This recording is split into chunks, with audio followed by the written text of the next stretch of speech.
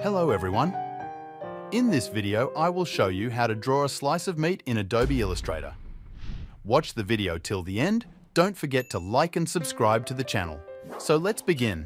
We draw a rectangle with the Rectangle tool. With the Direct Selection tool, we ovalize all the points of the rectangle. We draw a circle with the Ellipse tool and place it in the appropriate place. We select both objects and turn them into a single object with the Pathfinder tool. You can soften the sharp angle here with the Direct Selection tool. You can support me by pausing the video for a few seconds and clicking the like button below.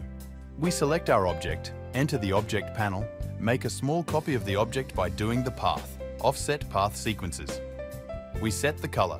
We draw a circle with the ellipse tool. We create a large copy with offset path. We delete the inner color and keep the border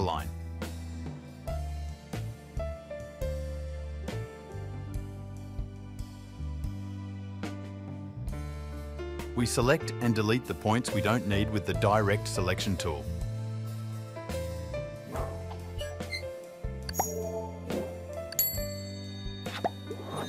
After making it a little thicker, we go into the Object panel and expand the line into an object.